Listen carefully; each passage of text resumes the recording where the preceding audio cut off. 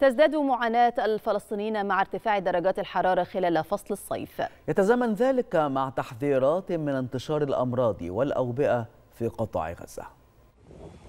معاناة أخرى يتكبدها الفلسطينيون مع ارتفاع درجات الحرارة في ظل استمرار العدوان الذي تشنه قوات الاحتلال الإسرائيلي منذ أكتوبر الماضي على غزة ليعود فصل الصيف مرة أخرى. ولكن يعود هذه المرة والقطاع مدمر.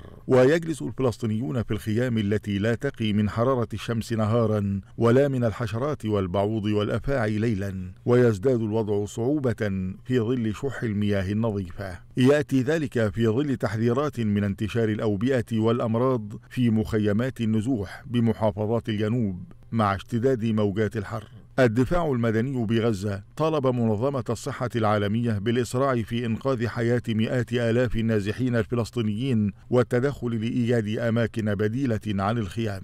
الأطفال والنساء الحوامل الأكثر عرضة لخطر الحرارة المرتفعة، لذا تزداد الحاجة إلى المياه. ورحلة البحث عن المياه لا تتوقف مثلما لا تتوقف رحلات النزوح القسري من الشمال إلى الجنوب والعكس مجددا. فالناجون من القصف يعانون من ظروف الحياة القاسية التي فرضتها آلة القتل الإسرائيلية.